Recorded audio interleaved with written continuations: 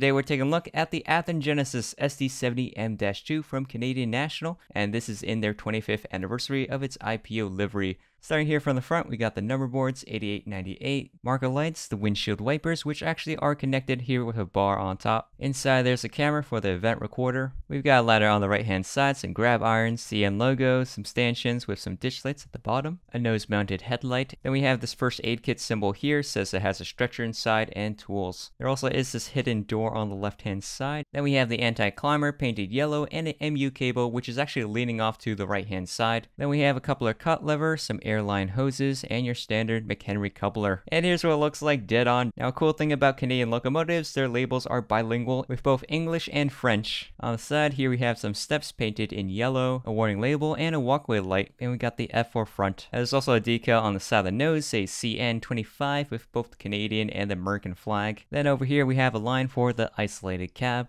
the side cab windows, and a sunshade on top. There's also two wind deflectors also used as a side view mirror. And here we have the locomotive type SD70M-2, a side vent, and some molded on detail. So now let's take a look at the bogie. Here we got two suspension springs and a jacking pad. And you can also see the molded on detail says HTC R4, which is the type of truck it is. Moving down behind the cab, we have the inverter cabinet, and to the side there's a large vent, and there's this cool white stripe to divide up the colors. Here's a closer view of the warning label holes, and there's also holes on the sides. On top, we have an air filter and some treading for the walkway on top, window for the back of the cab, and there's a grab iron ladder painted in red. There also is this extruded panel, and at the bottom you see this pipe that goes across, and in the middle we have the fuel gauge and the fuel filler cap. It also says carburant in French, which means fuel. Then we have the fuel cutoff switch. Now it's actually missing its red box color, which if you look at the real one, it does exist, although they did it correctly on the GT version. Then we have this white painted L section of the railing right here, pretty cool detail. Then we have the iconic CN logo, looks nice and modern. And actually checked out their website and they do have a long head forward train, which is an interesting picture choice. On the top we have some warning labels and you can see the molded on detail for the doors. In the back we have the radiator section. Down below we have some more caution label warnings. Then we have some grills here on the sides, some vents, and the rear one is see-through. Now here's what it looks like in the back. We've got a mini CN logo at the top, some marker lights, a headlight, and some grills in the middle a ladder on the left hand side, and some rear ditch lights. Here we got the road numbers, the MU cable, spare knuckle coupler holders, and a small rock plow at the bottom. Alright, so now let's go check out the other side. An interesting thing is the steps actually go from narrow to wide towards the bottom. On this side we have the handbrake wheel as well as some more warning labels, a fire extinguisher symbol, and down the bottom there is an air dryer. Then we have the CN logo yet again, down the bottom the air reservoir tanks, and the fuel tank detail. So on the engineer's side, the walk-up goes up over here because there's a battery box,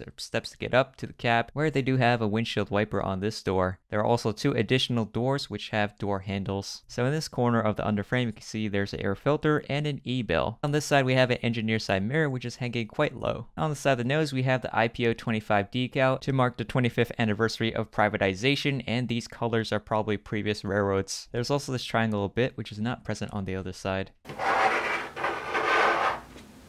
Alright, so now let's go check out the roof. So if you look at it from above, you can see the anti-climber segment. It has some shredding, while the middle part is kind of blank, and the steps are see-through etched metal. On top of the nose, we have the sand filler hatches, and grab irons in the middle and the sides. You can also see the cab roof is specially painted in white for IPO 25. Usually CN locomotives have a black cab roof. We also got this GPS antenna dome.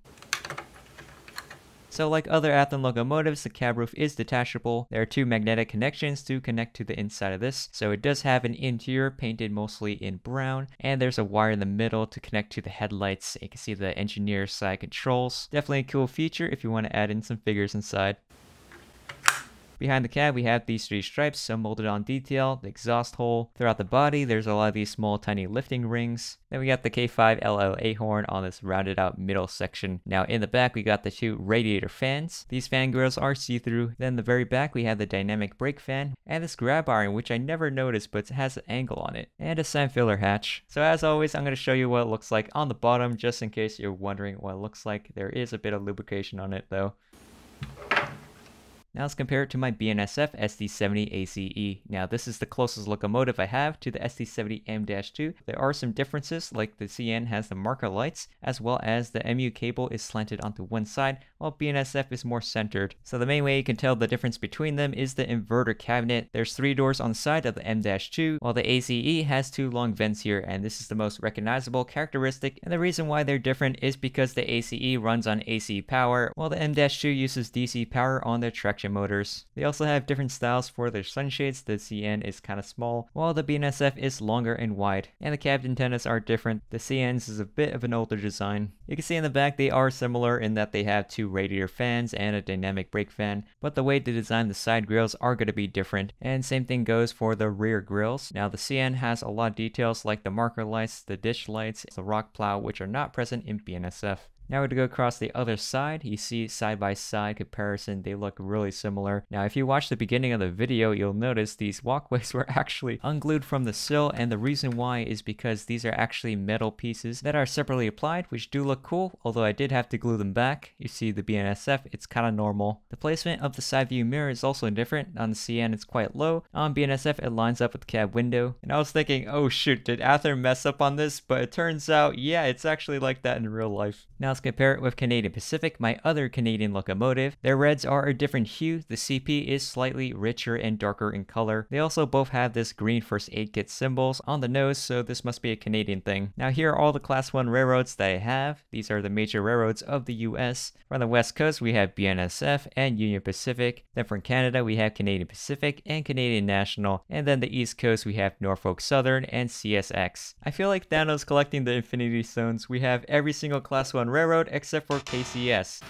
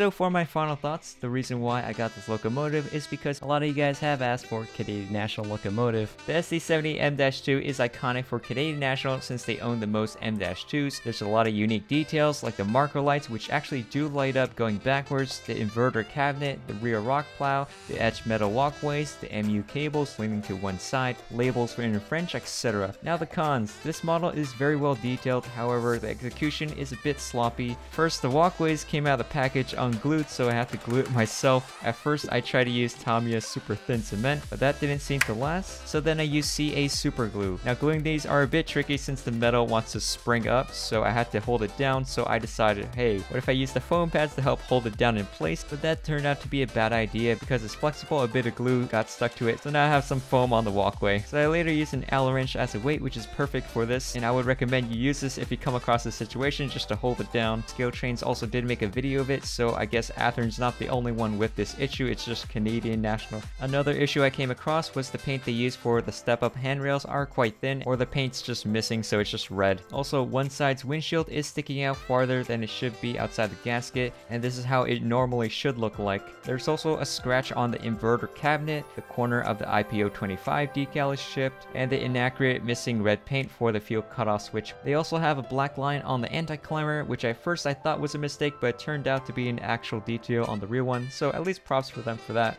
In conclusion, I think it's a good locomotive to get, though I do wish they did a better job on quality control. If they did, it would be a great locomotive, and I got this model from lombardhobby.com. But yeah, that's pretty much it for the video. I hope you guys enjoy. If you do, make sure you hit that like button down below, subscribe if you haven't already, and I'll see you guys in the next one. Bye.